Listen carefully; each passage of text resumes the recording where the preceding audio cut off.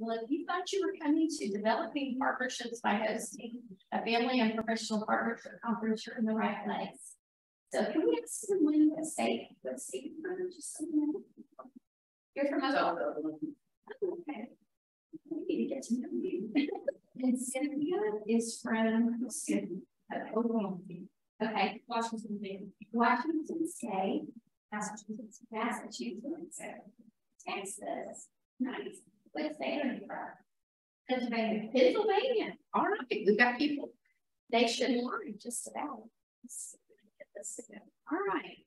So here's our learning objectives today. To increase awareness of the importance of family and professional partnerships, identify potential partners for your own conference, future family leadership activities, and possible future funding. I guess I better get in front of my mic. Um, receive tools to plan and execute a family professional partnerships conference, and then to learn details for increasing family partnerships in the development, implementation, and evaluation of programs. So Heather and I have been out this quite a while. Um, we actually wrote the Family and Family Health Information Center grant, which is a grant through Human Service, Human Resources Services Administration back in 2007 we received it in 2008, and it's competitive every time we write for it, but thankfully, no one has written down for members yet.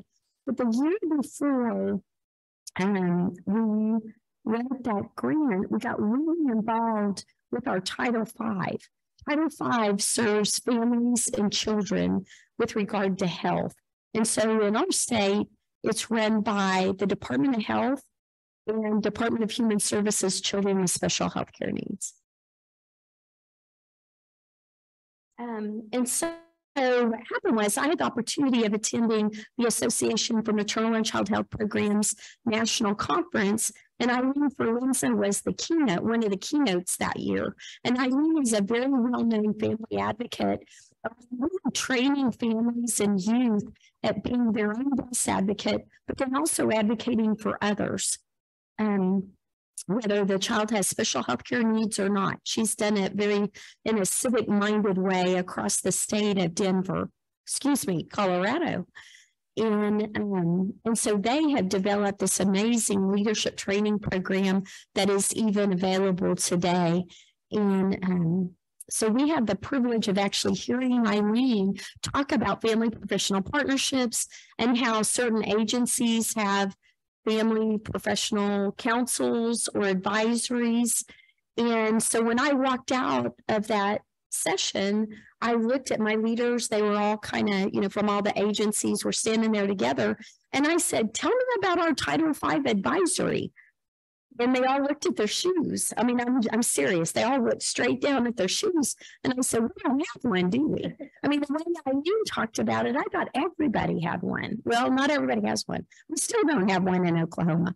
Although our family to family advisory kind of serves in the role of our Title V advisory. I think we could probably say that now. So when I left AMCHP, I said, we have to do this. I mean, Heather and I already wanted to do it. We were the parent to parent in Oklahoma, and we were writing for the Family to Family Health Information Center. About 40% of the calls at that time that we received were from families who had kids with some kind of challenging behaviors or a behavioral health concern. And we knew that if families didn't have a voice at the table, then the services that were being delivered were not going to be what families needed.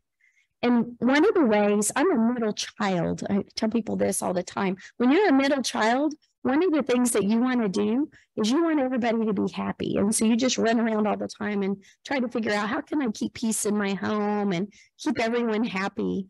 And um, and I said, you know, Heather, you know, we get along great. We get along really well with all of the family organizations. You know, we had Down Syndrome Association, we had autism networks, you know, we had all these family networks, and we all really got along pretty well. And we kind of figured out, you know, if we get a family has a child with autism, and we help them somewhat, but we want to make sure they're also connected to the autism network so that they can be with families that are like-minded very similar experiences and that kind of thing.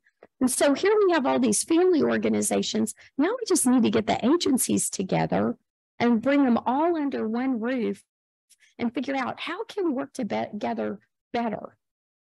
And so we actually brought in Family Voices National uh, Office, their technical assistance group, and two of their staff came in and they helped us do strategic planning around family voice. How can we get family voice at our child serving agencies, but specifically our Title V, which again was Department of Health, and then DHS, uh, Children with Special Healthcare Needs. But the Healthcare Authority, our Medicaid agency, was also involved because those three agencies have always worked very closely together. And so we actually left that day with some really good to dos. And one was to have a joining forces supporting family professional partnerships conference. And then the other was they, they supported Heather and myself in writing the Family to Family Health Information Center. So that's kind of how the joining forces uh, plan grew. Did I miss anything? Okay. Because I sure can't see that. um, so why have a conference? Well, I will tell you this. We planned that conference over about six months. And so that means six months out of the year, every child and family serving agency is in a meeting with Heather, with myself, with our staff, and with other family leaders because we targeted family leaders with expertise in different agencies because my children have never been on Sooner Care. So I can't really be a good voice for Sooner Care.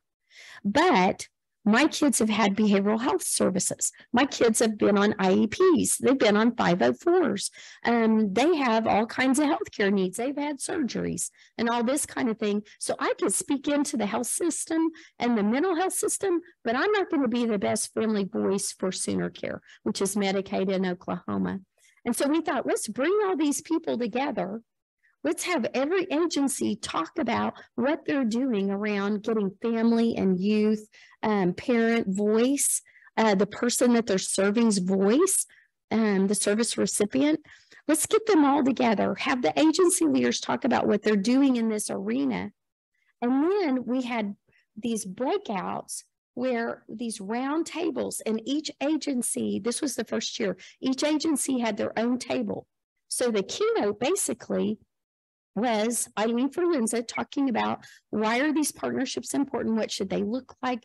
Families should be compensated for their time, all that good stuff. And then the agencies did a panel and they talked about how they were using the voice of the people they were serving. And then in the afternoon, each agency had their own table and we rotated. So families could go to three tables. And the agency people, so like Sooner Care or Medicaid had their own table, but they might have five staff there. And so some of those staff could rotate. So not only were they hearing how the families could get involved in those agencies, but they also could hear how agencies could do some cross agency work. Do you have a question? Not a question, but I'm just really, I was, I was making a note when you first started talking about like that structural concept. Yes. And then when I took that in, I, I, I, I realized that I wanted you to kind of you but I want to ask them, but that's the look on my face. The reason why I say that is because I just participated in something similar, but it was on the local level. And while I was there, I was thinking, this would be amazing if it wasn't just the people in my city doing this, but the people across the state doing this. And so when I took that in, I realized that you, you're, you're discussing that model. Yeah. And so that look was like, okay. Exactly. Where are you? Super. And I wanted to, if you don't mind, what that looks like. You just what you were We're going to get it. We're going to get into a lot more detail. In fact, we have a toolkit that we'll share with you all that you can download. It's in a Google Doc, so it'll be on the screen here in just a little bit. And you can download that, and it it is like paint by number. you know, you just we get we are giving you everything that we've created over the last 16 years as we've done this conference that many times. And I think what you'll find, and, and we're going to save time for questions because we have an hour and a half. Um, and so we're more than glad for you to ask questions. But I have a feeling as we walk through this, you're going to get a lot more detail. I just thought it was important for you to hear why the heck did we do this? You know, we did not have a voice at most tables. You know, usually what was happening in Oklahoma is we would come in and everything would be decided and they would go, don't you like our brochure? And they really didn't want to know that you didn't like it. You know, and you to talk about the program, you only got to talk about the brochure. Well, that's about the lowest level of family input that you can get or youth input. I mean, it's a piece, don't get me wrong. It's a place to start, but it is not the be all in and end all by any means. What state are you from? Georgia, Georgia. good. Yeah, half of the conference is from Georgia. This might, I don't think, is this one? It's on, okay. Okay, I think I think we're, I think we're ready to So this next graphic just kind of um, lays out that partnership building process. So the first thing that we did was we just identified existing opportunities for involvement within services and systems. And really, you guys, that's done by building relationships. Um, we all know that relationships are key to most everything we do and that communication and trust and all of that goes into building those um, um, partnerships and just identifying those existing opportunities. So really it's that low hanging fruit, you know, what you already, what you already have access to and, and, and people that trust you. And then the next um, piece of that is just identifying individuals and families that are interested in the opportunities. So Joni had mentioned, um, you know, she has experience with, you know, certain things within the healthcare system or the school system or whatever, but we really needed representation from lots of different families with, with lots of different experiences. And our philosophy and our mentality in regards to that is we've all been given experiences and you know situations in our life, not just to hold on to for ourselves, but to share with others, to try to make a difference, to try to give them hope, to share with agencies that are working with our children and our families, to try to make things better for those that are coming along behind us. And then the third piece of that is just identifying training and information um, that's already available. Um, there's no point in recreating the wheel. So if something's already available that's going to be, you know, help you fulfill this and and build those partnerships, use it. If you find that there are things that need to be developed, that's when you work with your partners and family leaders to start developing those pieces. And then the last part is, um, you know, just make sure that individuals and families are more aware and available of the services and supports that are available to them. How many of you in here are parents? Yeah. When you got a diagnosis for your child, how overwhelming was that? and the time that it takes to research the diagnosis, to find out what services are, all the state agencies that you know have services that your child may benefit from but they're all in silos. They're not all connected in some way. And so as a family member it's frustrating to have to dig and try to find all that on your own. And so this really um, you know just kind of pulls that all together and um, just tries to help pave that path for others. And that's working through partnership so building the planning committee, um, what we did, uh, you know, we just started with those we had relationships with. Um, and those that we didn't necessarily have relationships with, we met them for coffee, we met them for lunch, you know, we did all those things and just used our connections within other um, state agencies and leadership um, and just said, you know, we're missing somebody from this agency. Who do you know? Who do you recommend? And then we just started, you know, reaching out to them and and building upon those. And we actually made a list of family leaders that we knew. So we gathered a bunch of family leaders and said, okay, who do we know? And then who did those people know? So if I didn't know anyone from Department of Rehabilitation Services, which I didn't, then who knows someone there? And then that's how we just started gathering those together. The families would kind of meet, and then we would start meeting with the agencies. We would do our reconnaissance behind the scenes, and we usually debriefed after the meetings too with families to see how they were feeling and decide what do we need to do before the next. I mean, we know the professionals do that all the time, right? They're always talking about us. So we just kind of did the same thing, kind of figure things out. And then another big piece of that is not just state agencies and leadership within the state agencies, but other nonprofits, like Joni mentioned, partnering together with the Down Syndrome Association, with your Heartland Regional Genetics, with your mental health services, with wraparound, you know, just bringing all those pieces together that are family and individual serving agencies and organizations. Um, you know, we, we're a nonprofit. We've been in existence for 25 years and we do not care who gets the credit for the, for helping the family, right? As long as the family gets what they need, and we all have to work together to make sure that happens. We can't be the, you know, fix all, do all for everyone. We have to partner with other organizations. Even the name of the conference, the committee decided upon it. Mhm. You know, it doesn't say Oklahoma Family Networks Joining Forces Conference. It's just the Joining Forces Supporting Family Professional Partnerships Conference. It's It was important. Yeah, it is. It is. And then um, Joni had already kind of talked about, you know, just how we gathered family leaders and things like that. Um, we're really, we were having a conversation with Massachusetts, just identifying younger family leaders too. I think that's a big focus for us right now because, you know, we're not going to be, I mean, we probably will be doing this forever, maybe not as a job, but we have kiddos still um, and grandkids coming up. So we'll always be advocates and we'll always be involved in this work, but we need to identify those younger family leaders that are going to be a voice at the table and we can kind of take under our wings and kind of mentor them through you know the work and the foundation that we've laid. We want that to continue in our state and in our nation.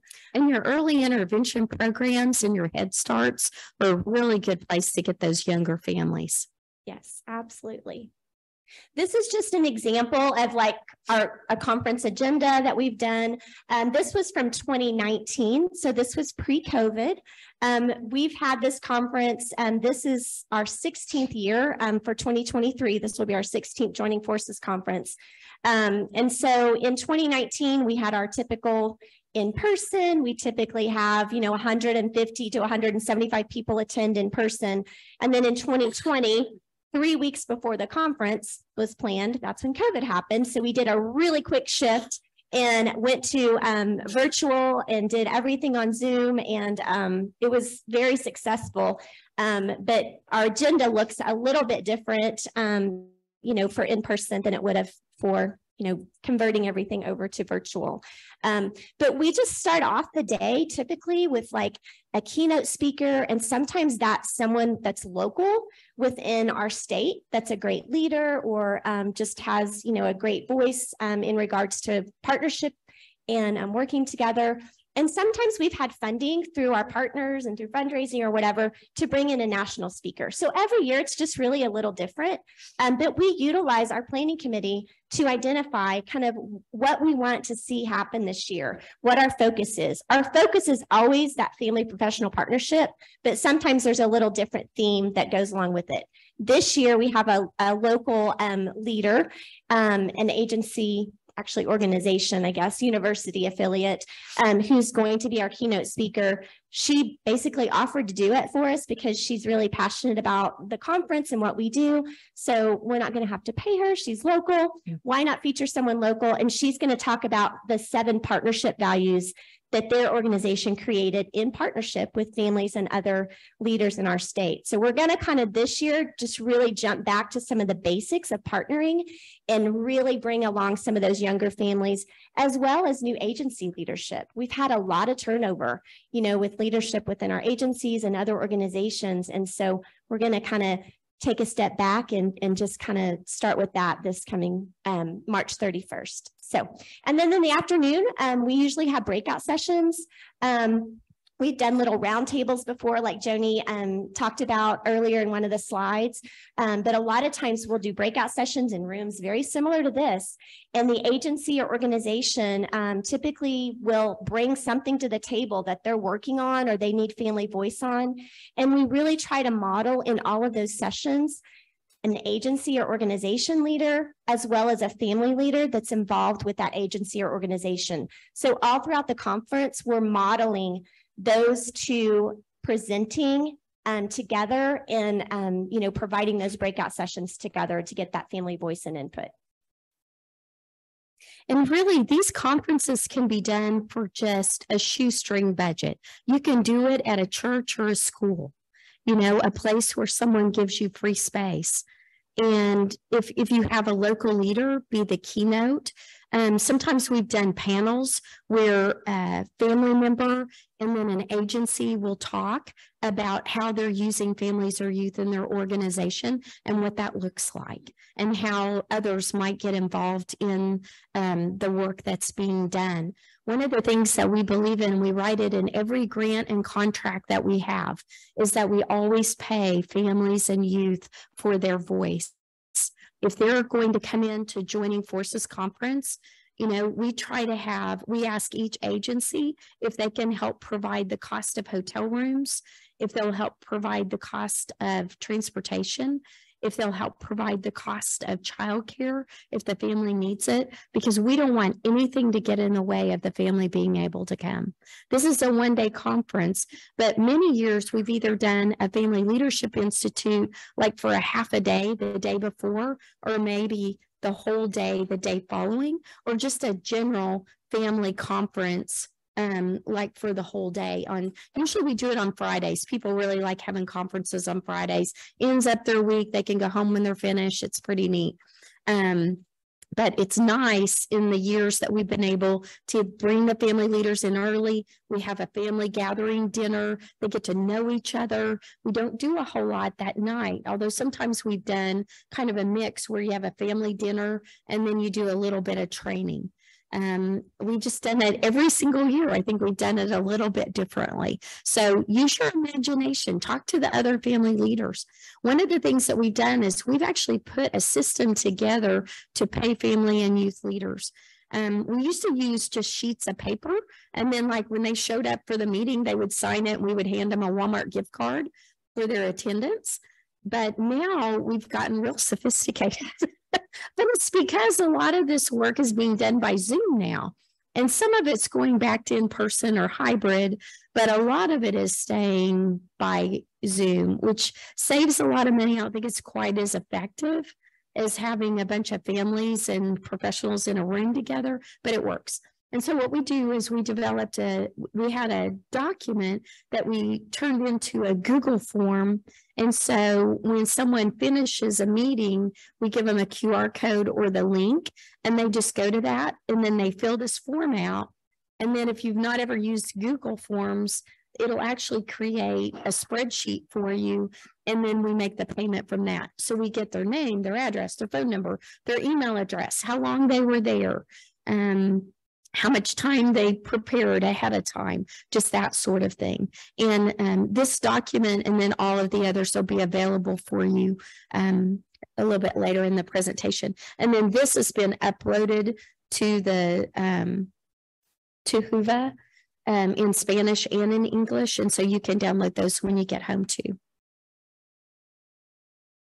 Yeah, used to we would email them the form, they'd have to print it. Not everybody, not every family member has a printer, you know, so we'd have to mail them the sheet. And I believe in paying people the day they do the work, you know, because I want, if they want to go home and get Kentucky Fried Chicken on their way home instead of having to make dinner, I want them to be able to do that if they want to. So um, another question we had to kind of address was really where do I find partners and family leaders. So again, just looking at who you're already working with, um, I know I wouldn't be standing here today if someone didn't like pull me along and say, hey, come and like sit on the interagency coordinating council for Sooner Start. Your son went through early intervention, like we need a family voice. And I didn't know what the heck I was doing, but someone else did. And they really just pulled me along side them and really helped me and nurtured me and guided me. And I made mistakes like we all do, but that's how we learn. Um, and so really just identify who you're working with. Um, every single family, I don't care who they are, what they're currently going through, whatever, every family is a leader. They're a leader in their home. They're a leader in some way, somehow. And it's our responsibility to help them recognize that and help them build and grow that. So just look around, see who you're already working with and identify them.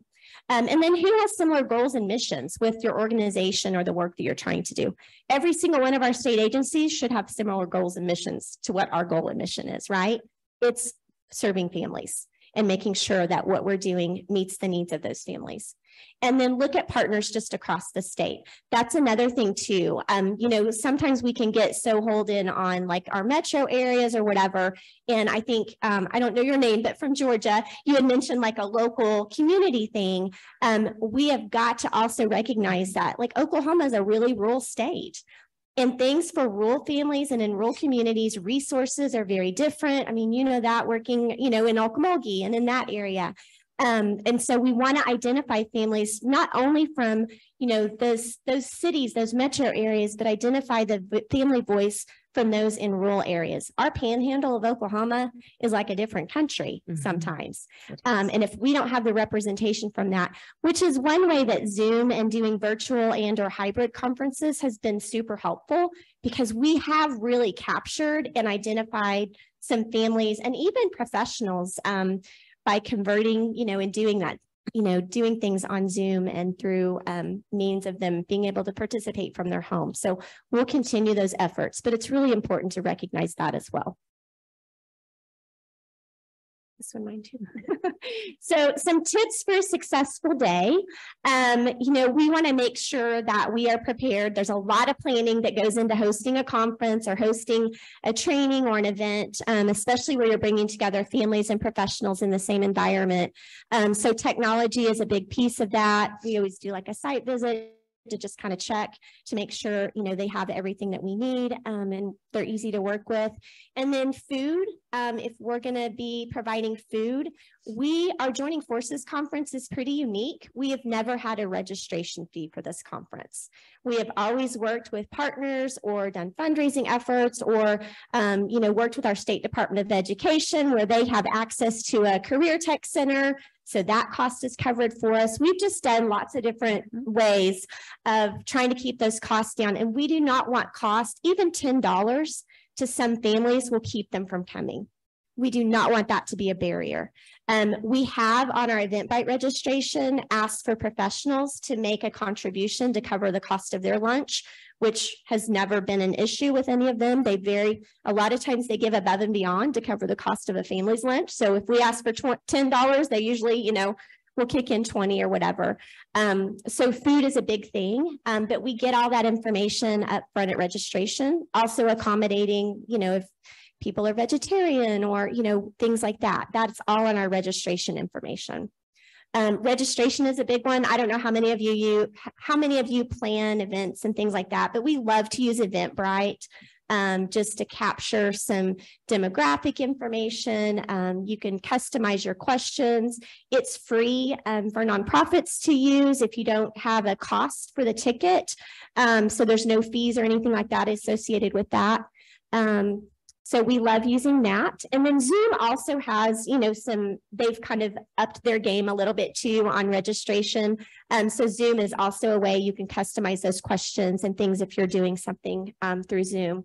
And then we, we find it really important. We have a lot of, we have staff and we have a lot of family leaders who, um, you know, speak Spanish or bilingual and prefer things in Spanish. So we make sure that we have interpreters, um, live interpreters. We've had interpreters on Zoom. Last year at our Joining Forces conference, we did a hybrid model. We had one of our interpreters join us from Brazil. Mhm. I think um, she happens to work for a lady here in Oklahoma, um, contracts with her, and she joined us joined us on Zoom um, from Brazil, and we provided that translation for our Spanish speaking families that were joining us online. So that was really there's there's some logistics and some planning involved in that, but we encourage you to make that happen. Um, and then just the translation of documents. And we try to make sure that every training, every document, everything we have um, is also av available in Spanish.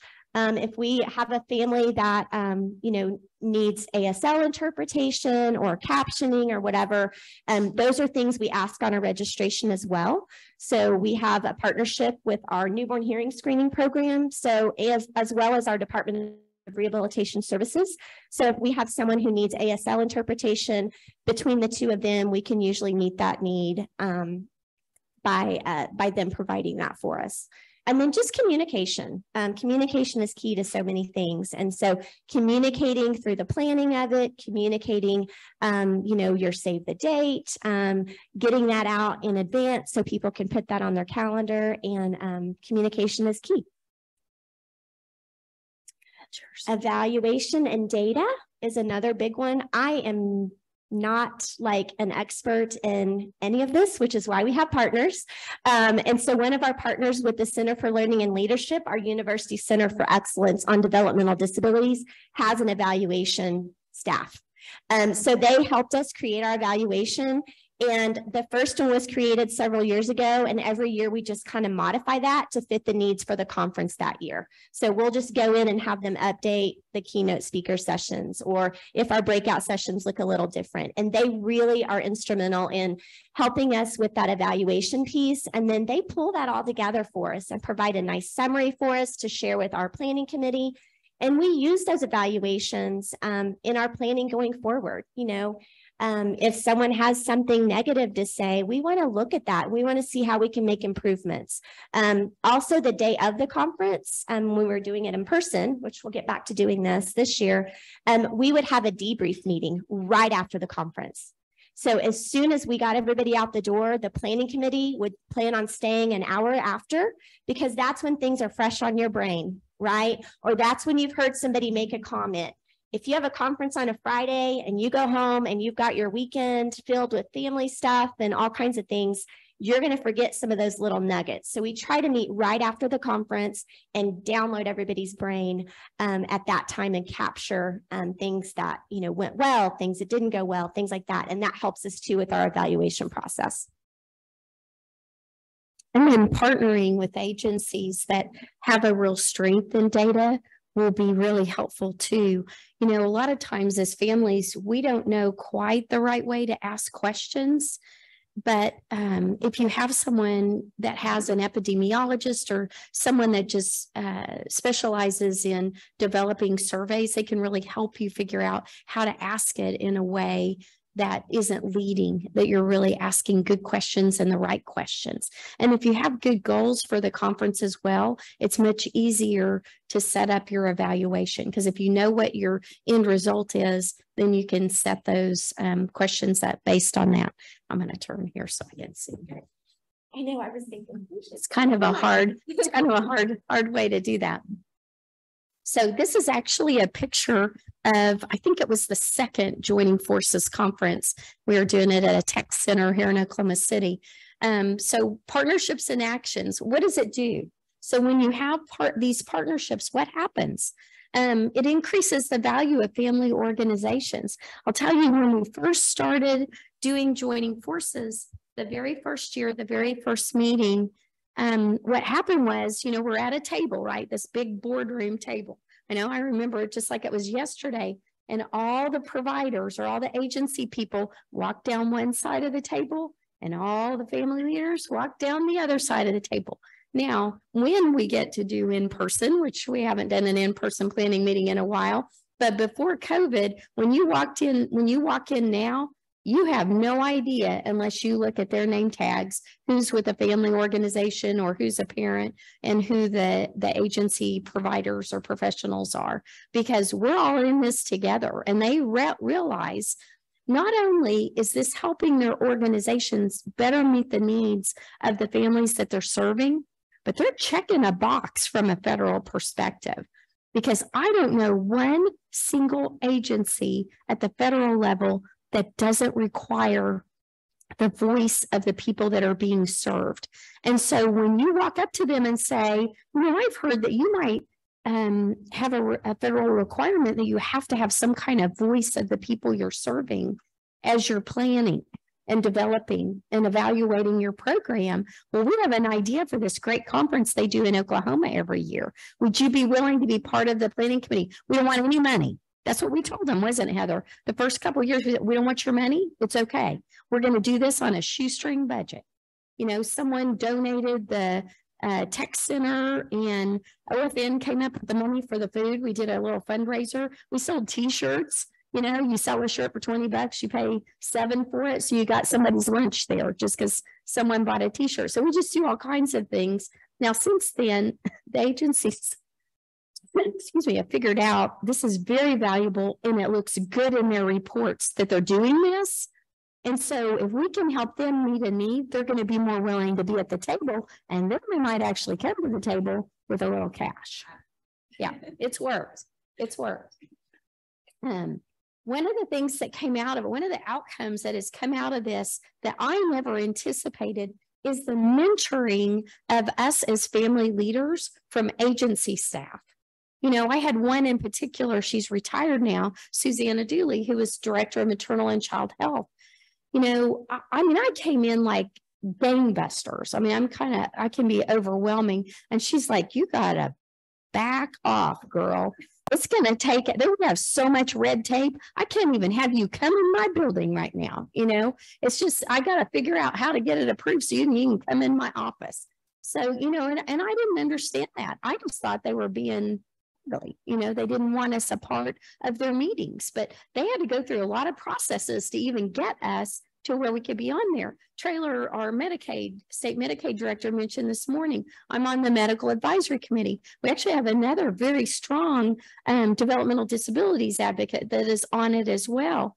And you all, it was people behind the scenes that made sure that happened because I had to get approved. Well, first of all, you had to be approved by the governor. I don't know how in the heck that happened, but um, so you had to be approved by the governor. But I either had to be appointed by the Speaker of the House or whatever. You know, it- it's one of those. I don't know. They never told me who who they actually talked into letting me be on the medical advisory committee. But the fact that we have a committee of 15 and two of us are advocates. I'm an advocate more in the area of mental health, and then Wanda is more in the area of intellectual and developmental disabilities. So it's been huge. But if I hadn't had Susanna Dooley telling me way back when, back off, chick, we're going to work on this, but you're going to have to step back just a tiny bit and calm this down. Let's figure out what some little baby steps we can take. Let's get some wins. Let's let this happen well, and then then we'll go from there.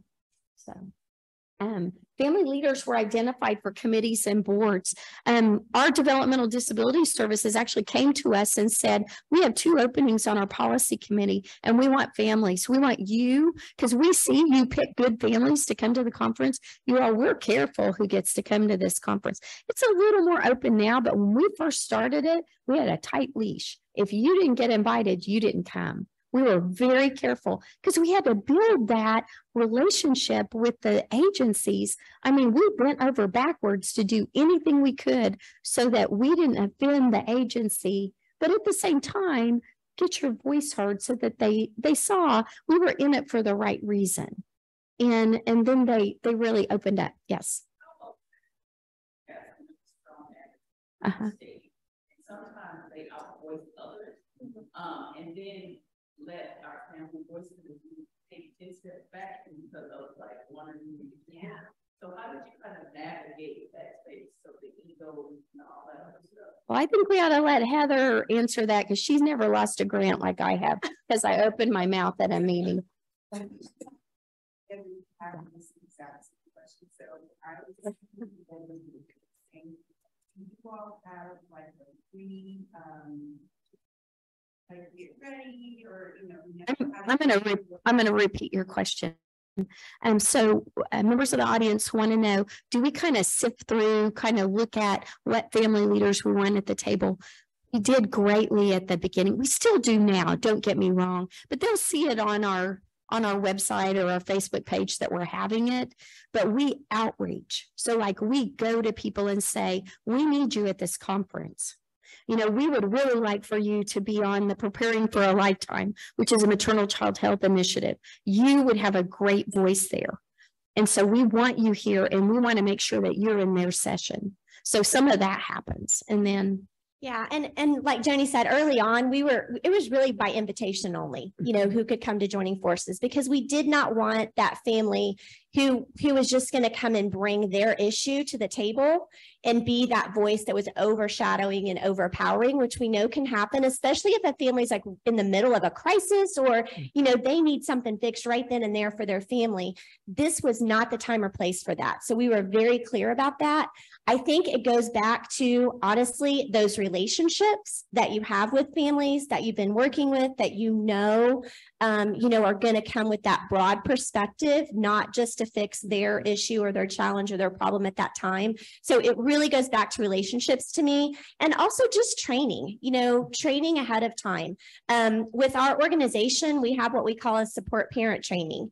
Um, and those are families that support other families. And it's uh, like a five or six hour training on confidentiality and, you know, all of these basic things. But it's also an opportunity for our staff to really get to know that family. And, and you know, within the first 15 minutes, typically of meeting someone, if, if they're there just to fix their problem or if they truly you know want to share their experience and make the system better and and be broader in their scope of trying to um, partner.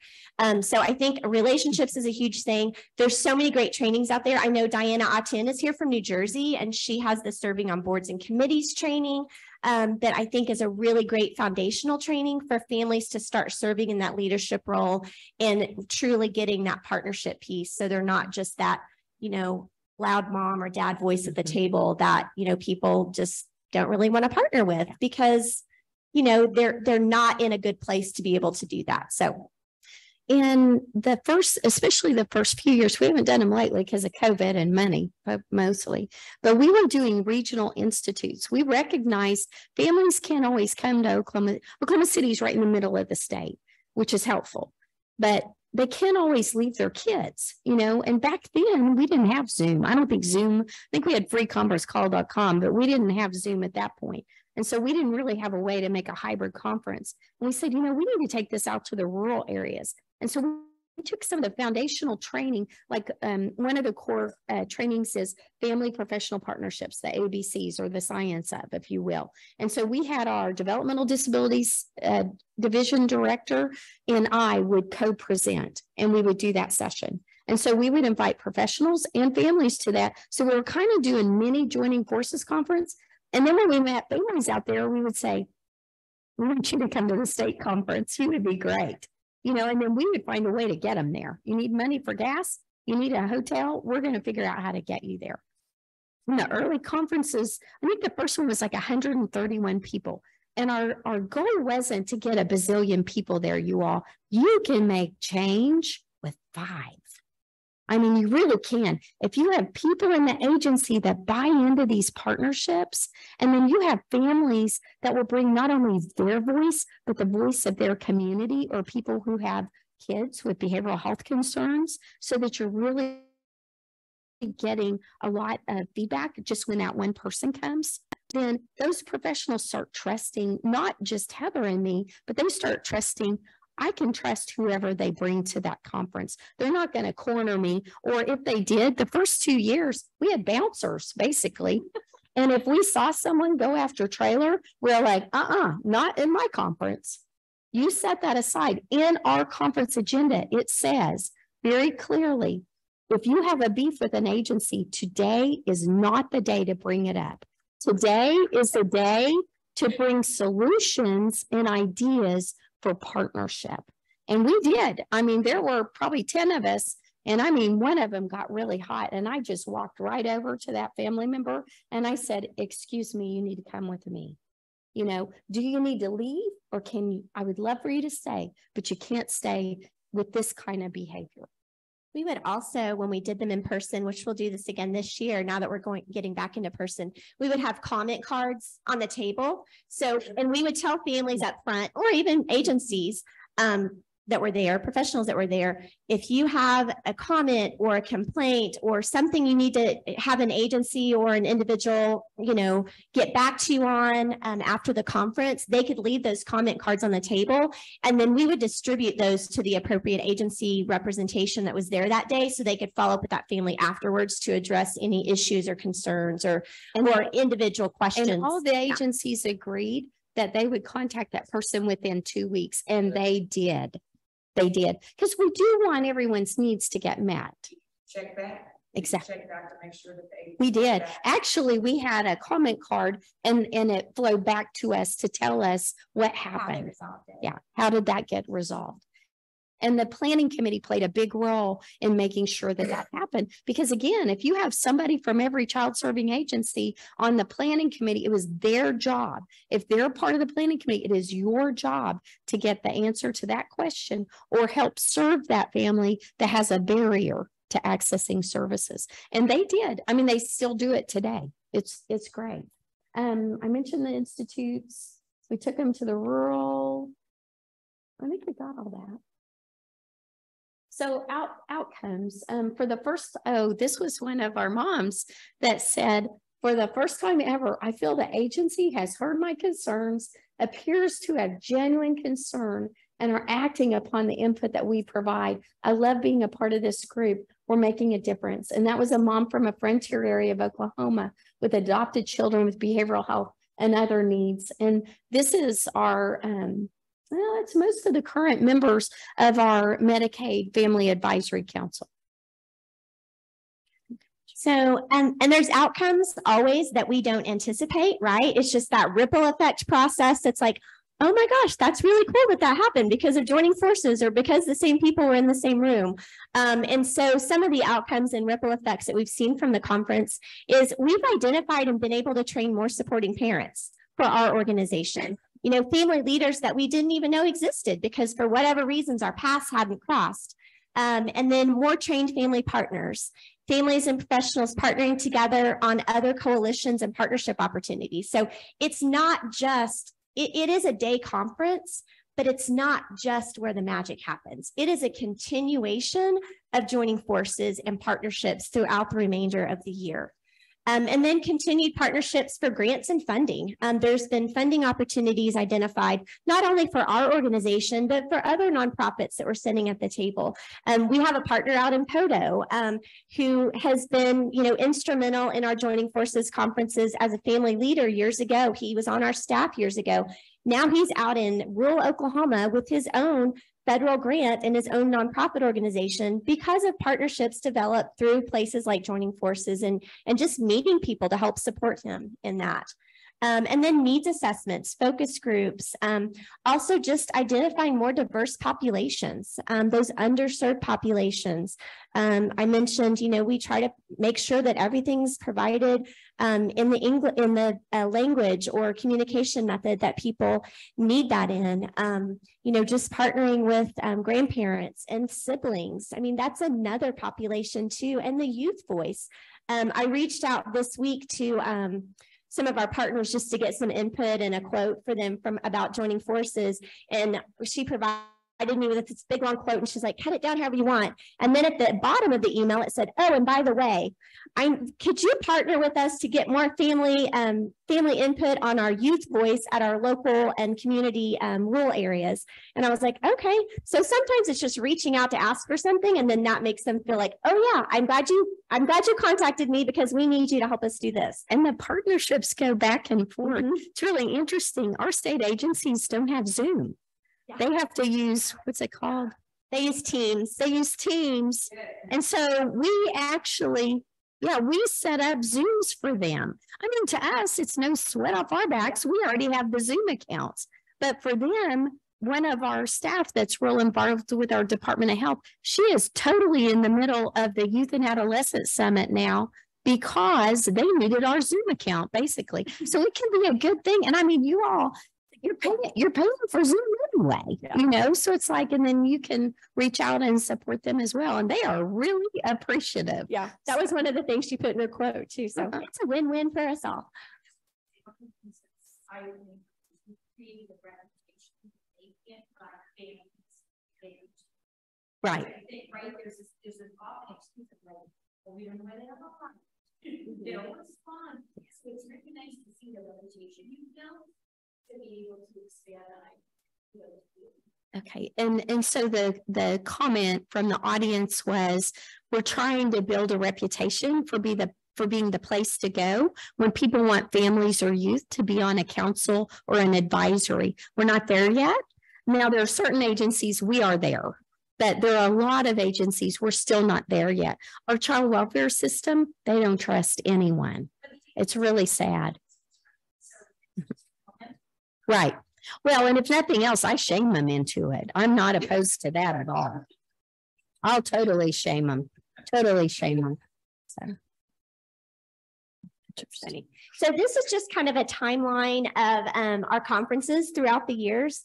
Um, Joni mentioned our first conference with Eileen Forlenza, who's a, a, outstanding family leader. And if you go to our website right now, um, under advocacy, there's a joining forces tab. If you go to oklahomafamilynetwork.org, um, and you can um, look at all the sessions. She was our keynote speaker again last year, um, and we brought her into Oklahoma to kind of do a refresh of when we first started and Last year was our 15th year. So we're like, what better time to bring back our first ever keynote speaker for our 15th celebration.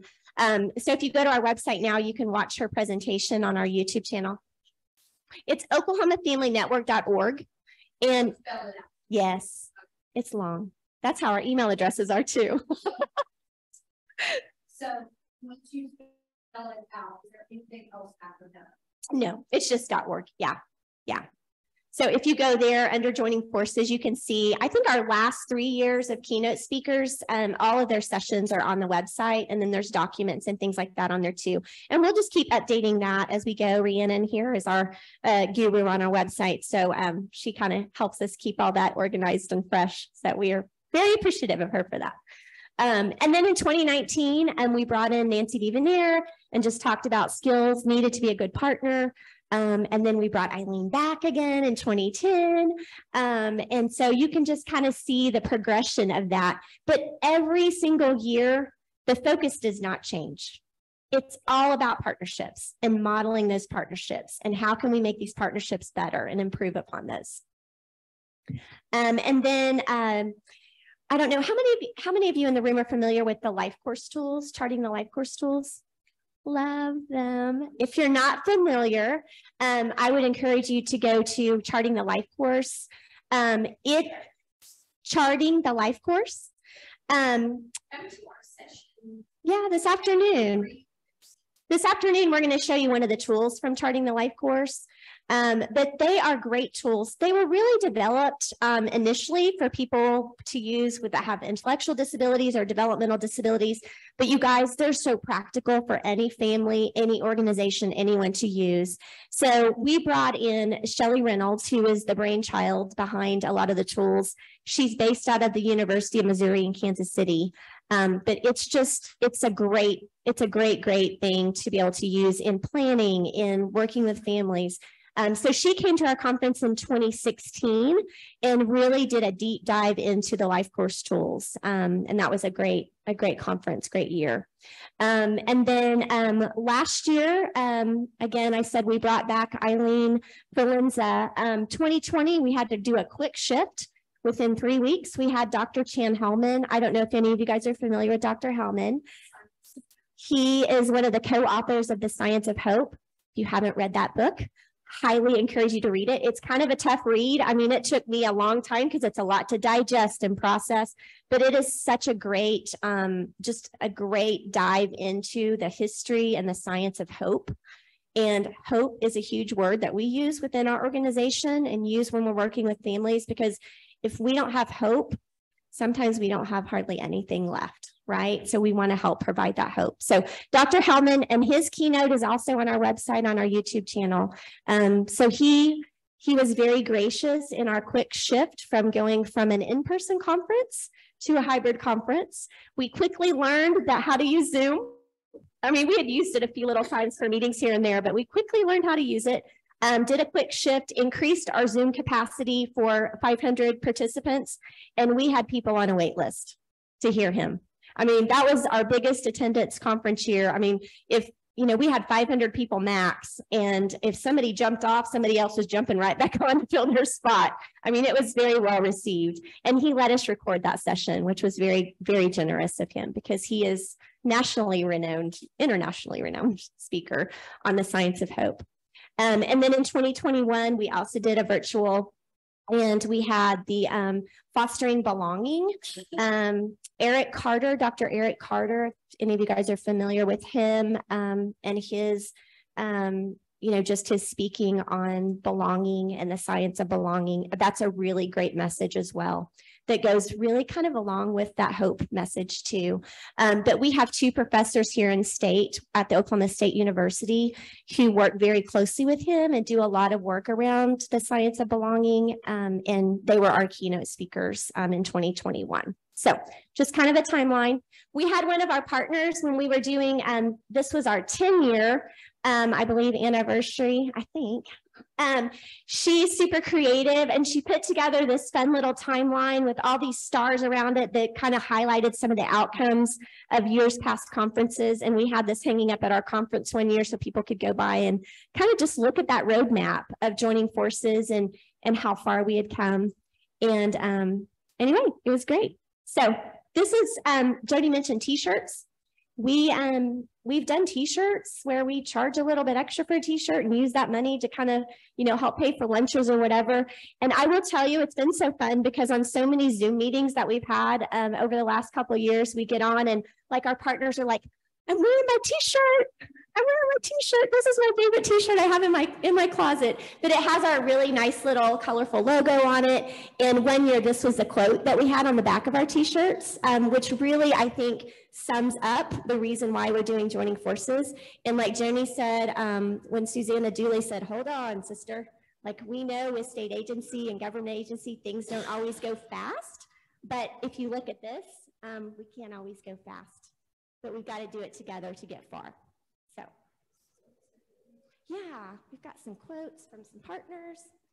We really wanted to have a little video of one of our partners talking, but that didn't happen.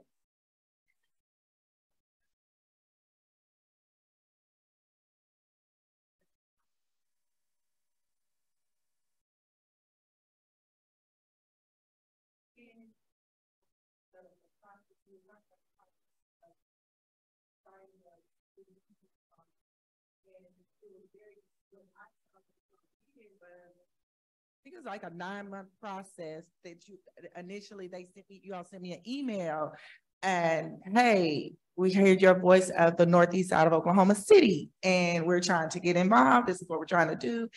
And that they asked me first and then they provided me with this is what you're gonna have to do. This is what you're gonna have to do if you want to do it. And so, so it, when it was a, a not a, a tedious thing, just kind of asked you questions like, why are you passionate? What can you bring to the community and things like that? So I really appreciated it. And now we're just now kicking it off on the ground and everything. But um, like you said, we don't want families coming in and just rambling off. Like, what do you have? When what I took out of that is that they asked me, what do you have to offer? What are you going to bring to the table to find the solution? Um, so kudos to Johnny for, for that and me being able to be a part of one of your partners. Um, and then uh, the Oklahoma, I wanted to touch on the Oklahoma, the HOPE initiative, how we all, most of our agencies were asked to go through the HOPE initiative and the for Chan Hellman is Rise, Hope Rising and they to become a hope navigator. I'm a hope navigator, so I'm able to go out in the science of hope, and we do assessment on where what level is your where is your level of hope at, and is it skill versus will, the pathways, the agents, what is what is uh, forbidding you, what is hindering you from getting to your goal, and how do we meet meet that? So thank you and kudos to that, but I just wanted to add that. we're an Okie girl. Okay, good to know. Well, and she was actually referring to, um, we have a small grant with um, Evolution Foundation, one of our other partners. And it's a Thriving Families Safer Children, if you've heard of that initiative. And in essence, it's getting the voice of minority families and underserved families. And in Oklahoma, our primor- primary minority and underserved are Hispanic, tribal, African American, sorry. I'm like I'm having a brain freeze here. So, but we do an application because it's important that we find out are you in this for the right reason? You know, they'll get into some of those questions and say, you know, how how will you take this information back to your community?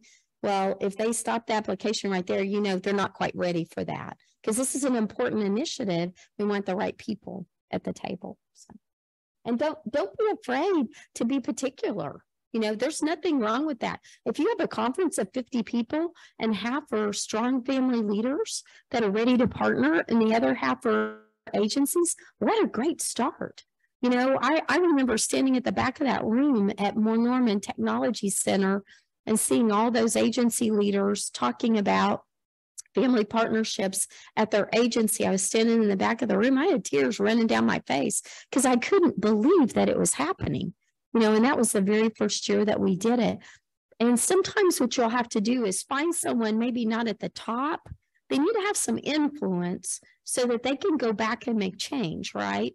But they don't necessarily have to be the director of the agency. Now we had some division directors and and that, and it's nice if you can get that level because they have the authority to go back and say we are going to do this whether you like it or not and that's how that's how real change can often happen but even if you have to start with middle level managers don't worry about that because if you can get them drinking the kool-aid they'll go back and tell their bosses and then what we tried to do is go see their bosses with them and share our vision.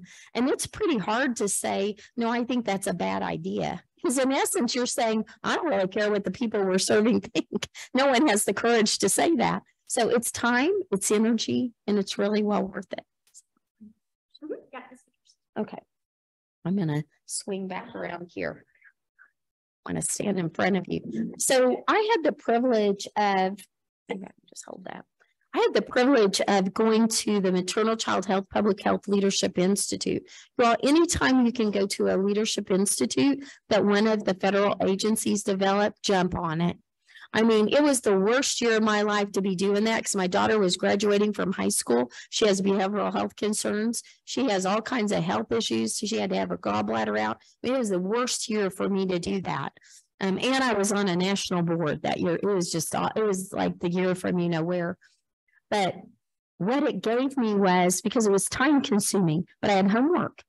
And the thing that I decided to do is take all that stuff we learned from joining forces and develop a toolkit. And so you all have access, will have access to this toolkit now. And in and you just take it and you just change it to yours. We do not care. The only thing I would ask is if, if you use a lot of our stuff, if you don't mind just saying that you, you know, you adapted it from Oklahoma Family Network or something like that. Our our partners who help pay our bills like appreciate that. But this just shows you at a glance the different documents we've developed. So there's a family leader orientation agenda because those first two years that we did joining forces, we did an orientation. We sent them a packet you know, that said, this is not, if you got a beef, don't come. Or you got to stuff it in your back pocket. You bring it to one of us or put it on a comment card. We promise someone with authority will get back with you in two weeks. So it's really important that you orient these families or you vet them in a way so that you know they're going to be safe to be there. And they're not going to beat up your state Department of Education special education director because she was the one that had the big target on her forehead. Um, there's a family leader request form. And so it asks, what does this family need to know? Who's the audience? Where do they park? Is there accessible parking? Um, who's going to meet them at the door and help them get there? Who's the audience? How many will be there? How, how should they dress? You know, is there funding for this person? All of those documents, you all, we've already developed it all. Now, what you can do is you can take what we've developed and just build on it. You know, I'm a firm believer in just stealing from other people. I'm shameless in that way. But you always give them credit, right? That's what we've done. Um, there's a so not only a family leader form, but a speaker form. And so, because a family leader, they may want them to be on an advisory. When we need to know, are you paying them? If they take off work, you better be paying them. And then, by the way, they might need childcare, and they also might need a little gas card so they can get there. So we get all that information up front. So when we take it to the family and say, we think you would be a good, we basically match them to the, you know, it's like we know this family, they're a support parent, they're a family leader that we know. And then we say, we think you would be a good match for this, but can you afford to do this? Because they have no stipend, they have no gas, they have no nothing, you know. But oh, often I don't ask someone to do something if I don't at least give them a little something usually we'll give them 50, especially if they have to go in person. I'm not going to give them less than 50. It isn't worth leaving. your house for fifty, you know, less than fifty dollars. And we usually do the Walmart cards. Although lately we found out our bank, if we don't ask too often, they'll do free gift cards, Visa cards, and the families really like those. Although some of them just say, nah, give me a Walmart card. Um, we have conference planning committee, just like we didn't use like the name Center for Learning Leadership. You wouldn't know who that was in your state. It's the University Center for Excellence on Developmental Disabilities. So it's just a list of different people you might want to have on your planning committee, just to give you some ideas. Um, we have a, a conference agenda that we have sample agenda we've used in the past, a sample evaluation. And then the family opportunity form is a form that the agencies filled out. And we actually did this well, it's kind of like a Google form, but it was one of our partners actually developed it for us. So it was think I don't remember what that program's called, but in essence, you could do it on a Google form where they literally the agency says, I have here's the contact, this is their address, this is their name, this is their phone number, and this is what we need. And it tells family leaders. So if we're at joining forces doing roundtables or breakout sessions, the Department of Mental Health and Substance Abuse Services could pass that out and say, here's the opportunities we have right now. Do you want to apply for that? Or do you want to talk to me about it? So you're getting information back and forth. You're getting the information from the families to the agencies that they can choose from. And then the agencies are letting the families know what, what opportunities are available. And then the family leader interest inventory. This sucker is so long, but I don't know how to make it shorter because every family has such great lived experience. But basically, what it does is it says, What do you know about? And then what are you willing to give? Because I was a pharmaceutical rep before I was a family advocate. And so I have a level of knowledge because of that that I bring to the table as a professional in that way. And then, you know, maybe I'm a good speaker. Maybe I'm an accountant. Maybe accounting is my day job. And maybe I would be a good treasurer for a board you know, that kind of thing. Because we all need people with that kind of, we want their lived experience, but we also need their expertise. We need them for our boards, don't we? So there's the sample agenda. This was our original stipend form. I mean, see how simple that is, you all. It's just what they do, what was the date, how many days, and then usually what what we've done in the past is a flat $50 for a for a day, or if it went over four hours or so. And if it's less than four hours, then we would give them 25. We're having to bump that up because it costs so much to for gas and all of that. We we do a little bit better. And a lot of times now we um will actually uh what was I gonna say? Really lost that. But if you look down in the right hand corner, we even mark where's the funding coming from? Is it federal? Is it state? Is it healthcare authority? Is it Department of Mental Health? And then that helps our accounting people. Now all of that is in a Google form. And we actually are giving you the link to that form so you can see it. That, that's sent to them, email to them, and then you email them, or, or, they'll get a card. Mhm. Or if it's in person, um, now we've gotten all smart because Heather and R- know how to do all this stuff. But now we just like we'll print uh, postcards with a QR code and we just walk over and hand them that. So it's not so obvious. And then they just click on it and then they fill it out and then I hand them the card if it's in person. If it's on Zoom, we just mail them the card. And usually we buy fold over cards with our logo and I write them a nice note because I'm telling you, I appreciate they took the time to do that. And usually, if they said something that I really appreciated, I will mention that. People don't write handwritten notes anymore. And since we can't see them in person, I figure if I write them a note, at least that's a little something.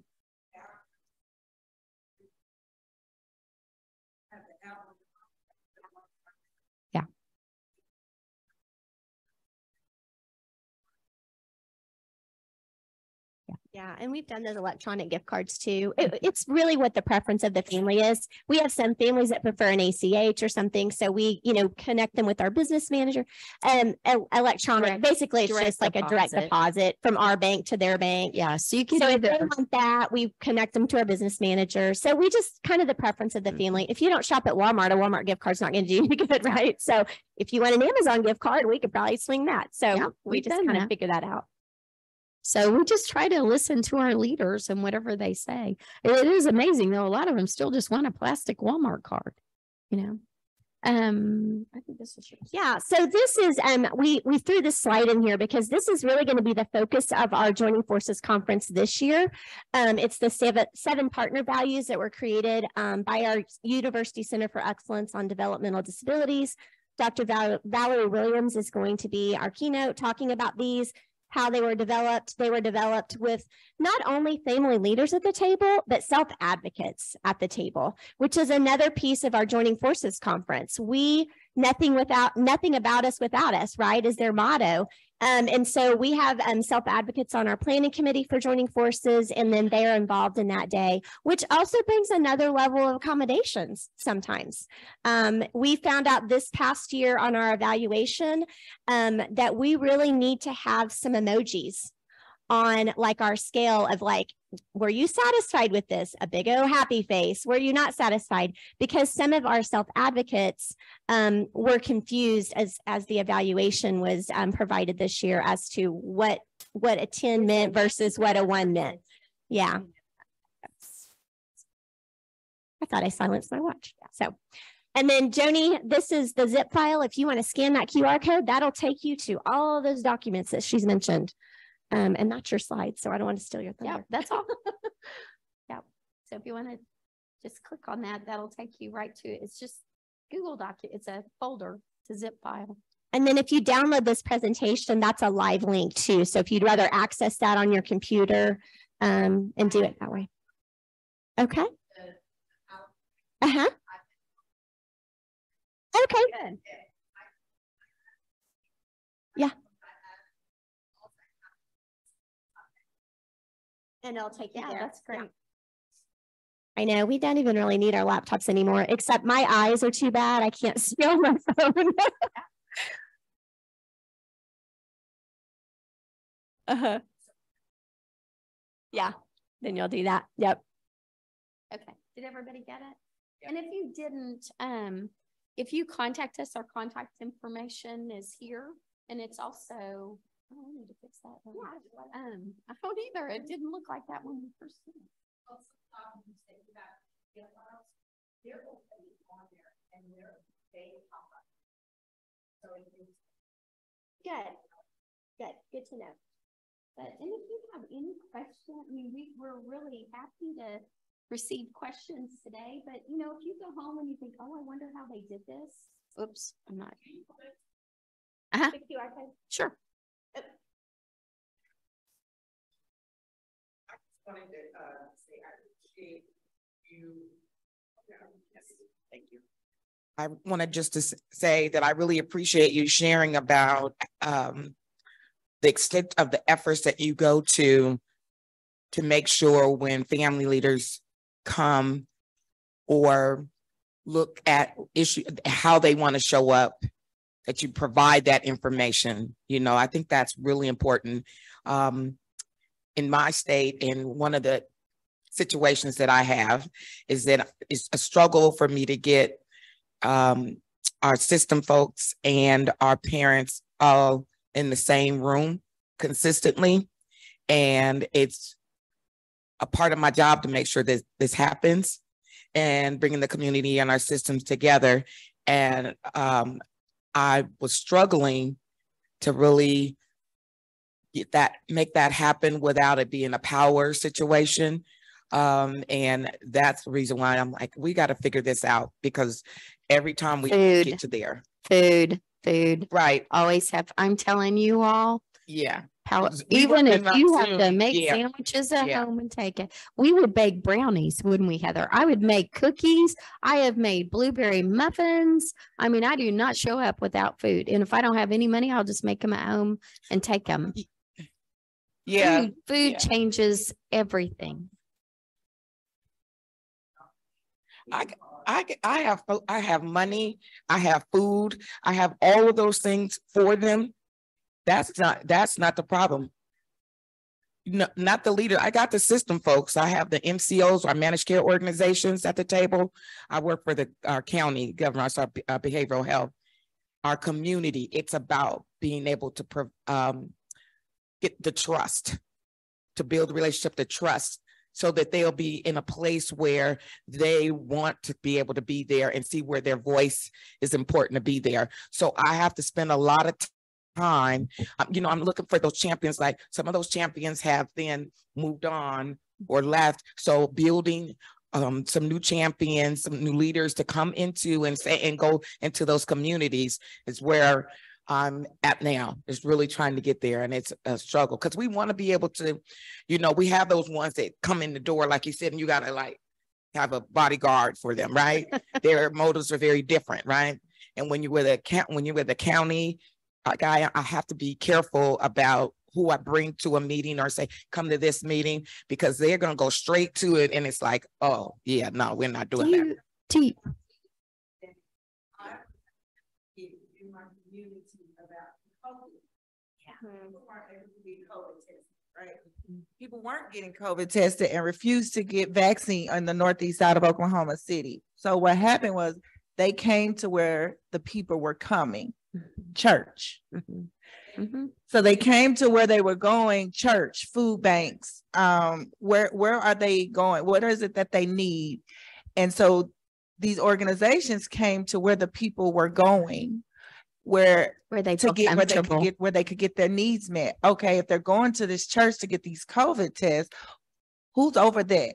Well, I happen to be the forerunner over that. Mhm. And I was adamant about getting out there, say, hey, we got to get tested, going door to door and things like that. Oh, okay, well, she's out there doing that. So let me see how she's getting people to come to that. And then let's partner with them and bring them And But I, that's but how, I would, I would I add, is it still on?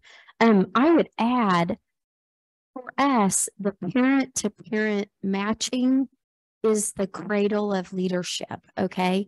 You start with the model we use is if you're matching people with like experiences for support, then you get to kind of watch them and see how are they mentoring that person because we would follow up and talk to the support parent and talk to the referred family and say how did that go? And when you see people going above and beyond i mean we had families that would go pick people up and take them places or go see them take three buses to get to the hospital to see that family you know whether a child was having you know surgery or something like that. Um being a to me that is priceless that's that's how we get to know the families really well and there are times when agencies can recommend people, but you have to be really careful because sometimes they'll recommend someone they think is going to sue them. You know, well, that's, you know, she was talking about we do kind of that interview process and it's not huge or anything. It's just kind of getting to know them a little bit. And you can know in a heartbeat, that's probably not someone you're going to want it, especially not at your first conference. The first one you have, you have to be really careful you have to protect those agency leaders as best as you can because we didn't want them to say, I'm never coming back to this again. I mean, really, what Jim Nicholson said, he was the head of developmental disability services right before he retired. I went up to his office. I think we gave him an award or something, and he wasn't there. So I don't know. Anyway, I had to go up to his office. And he said, I want to tell you something. Your group is the first time I saw it was safe to partner with families.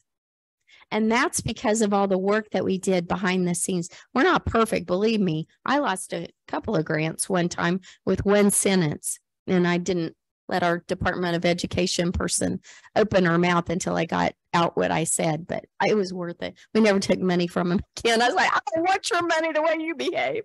But she's gone now. But anyway, he's probably a real nice guy there but um anyways just you know being being being careful being cautious you know connecting them in the room with someone that's a little more we did that a few times where if we had a brand new family leader we would say wanda this girl has real interest in developmental disabilities you hang with her joni she's mental health you hang with her and that kind of thing really is helpful and i'm sorry we haven't given you a That's okay. chance I yet. just, quick question.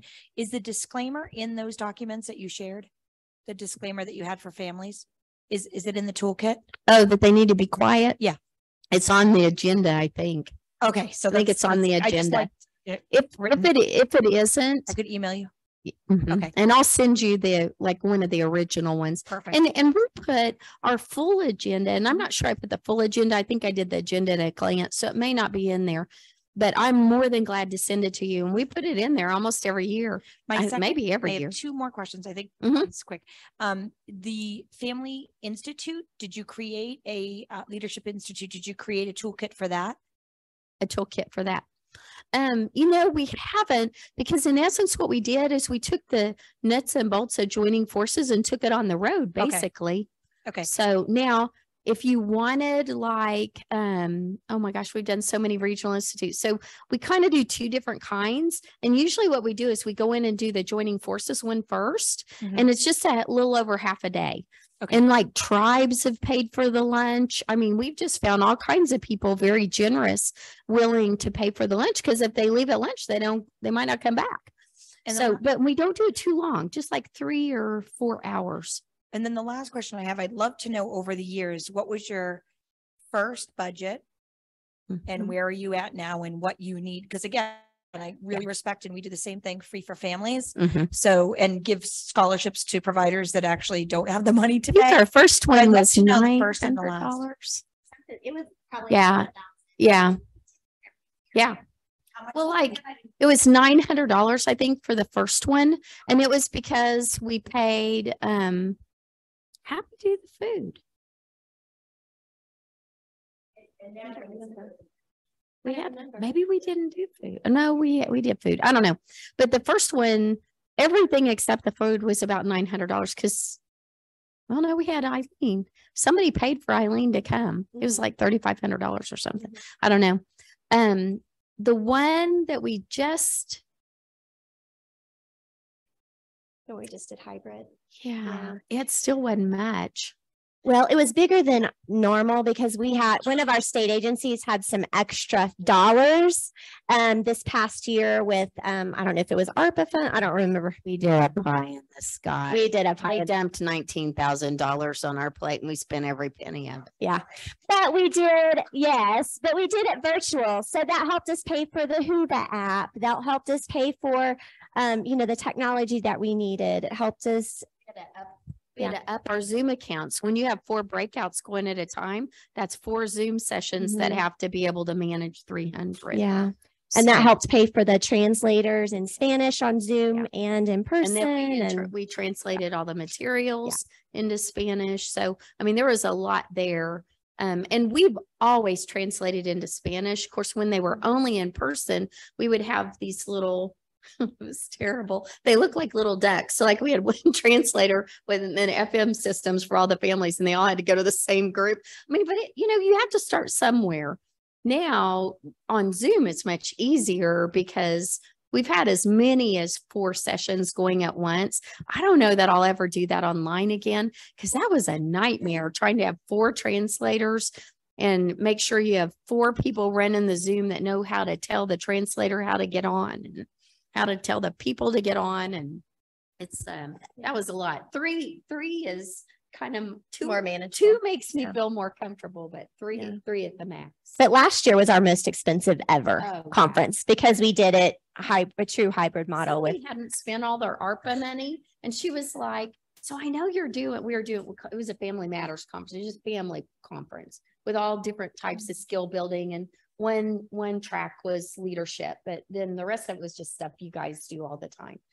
And, um, and we had a keynote and all of that. And she was like, what could you do? I don't, I don't think she said I, she had nineteen thousand, but I knew it was a lot. One of her partners just didn't come through and then money had to be spent by the end of September. And our conference was like September the twenty-seventh. I said, don't worry, we're going to spend every dime of it. And we did, but I mean, we did boxes filled with shred Yeah. and cups and hot chocolate and We did I little like care packages basically for everyone that was attending virtually and. Yeah. So, you know. we wanted to make them feel like they were there. Yeah. But no, I, you could do it. If you have, like this year, it will be very inexpensive. Yeah, because we're not having to pay for our keynote speaker. She's here locally. She's volunteering her time. Um, so that's just an in-kind contribution. Um, a lot of times, like we have partners that have ink pens that provide the ink pens or the bags. They provide the bags. So we just take any of that in-kind um, contributions. Um, it doesn't always have to be money, you know. Um, so yes. in the, in this conference last year. And the agency that I sit on the parent advisory board with, it's Allegheny Family Network in Pittsburgh, Pennsylvania. And it's actually all of the parents are here. There's like five of us, one of us couldn't come, but they wanted it to be an, an experience, like a training experience. And they wanted me to come. Well, AFN, and I, I can understand it because they supported us last year. They gave us chairs.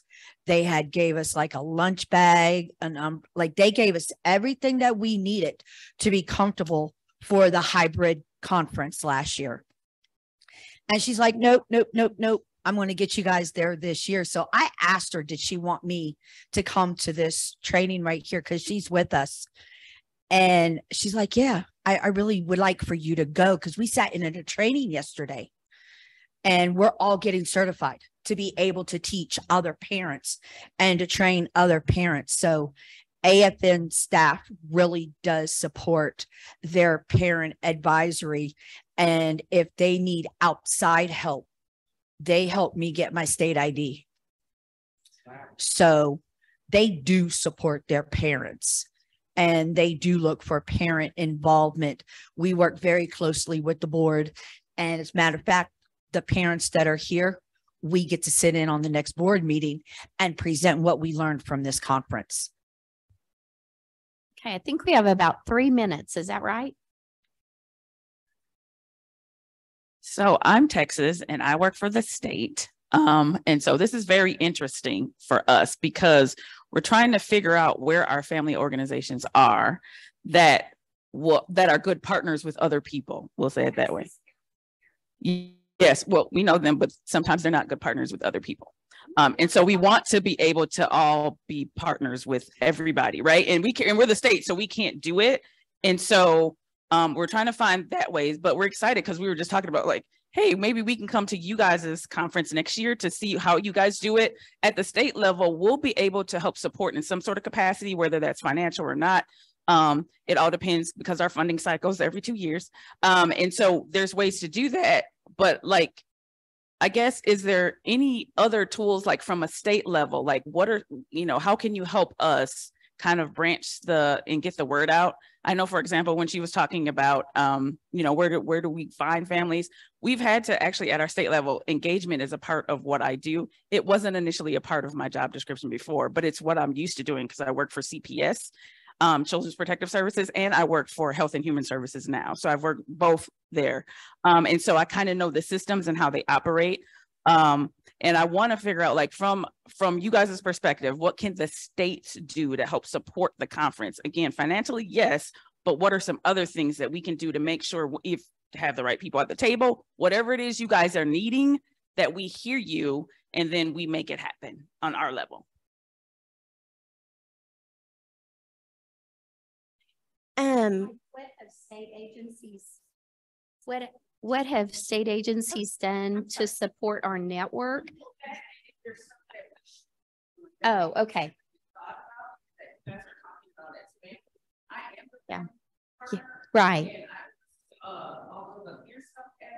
Mhm. and so mom. Right. Right.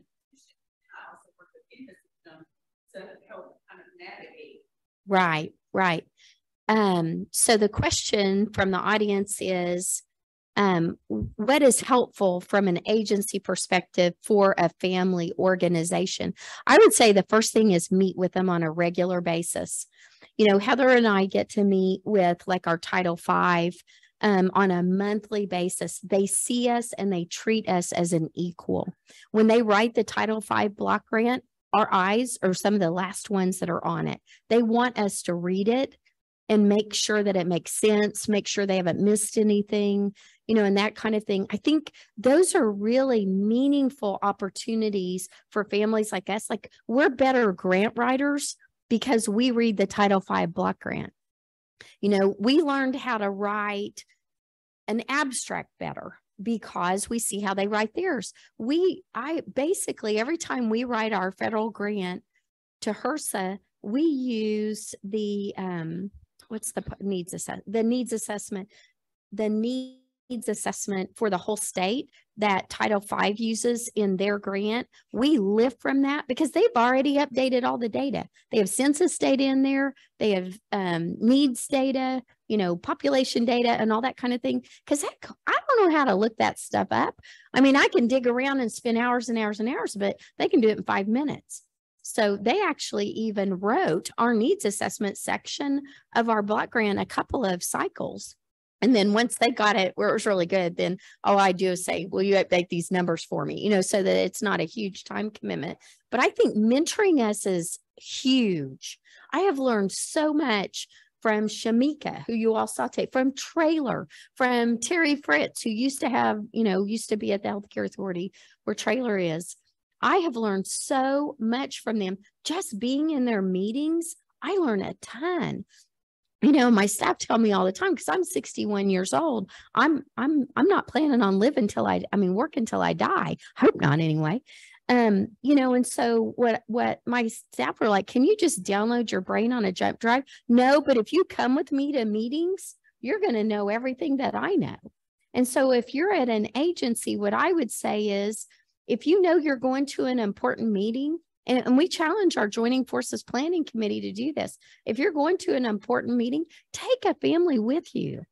If they're going to learn about how systems work or just get to know people that could really benefit their organization, that is probably one of the kindest thing agency leaders have ever done from my perspective. I don't know, Heather, you have other thoughts? It is. It really is. I, I would like to make a comment to your statement. It's not an answer, but I really appreciate your perspective because I was sitting here thinking, I love this model. It's already created, but one of my gaps is how to work with the state. And so just a, a, a deeper conversation using their model, you have the state voice and perspective that I don't have but I have the local community and organizations that saying we don't know how to connect with the state. So if we could just extend the conversation some kind of way, even if I could hear your concerns, I already have ideas this way Mhm. and we can kind of bridge that. So I want to connect and talk about that. public health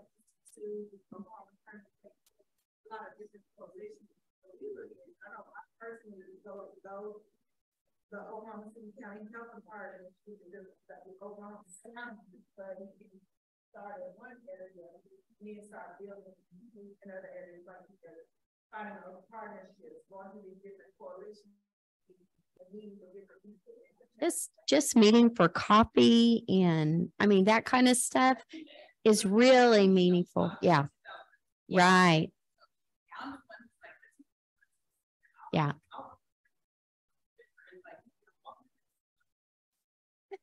Yeah.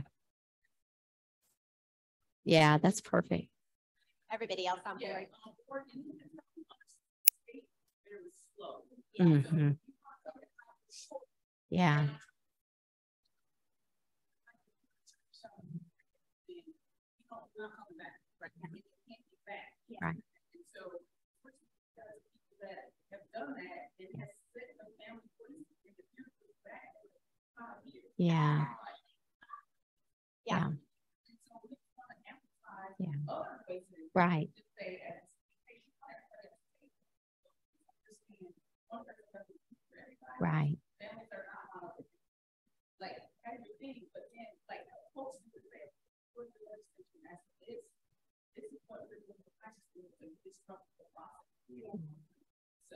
That's why meeting's so important. Well, thank you, you all. I think we've kept you a little bit late.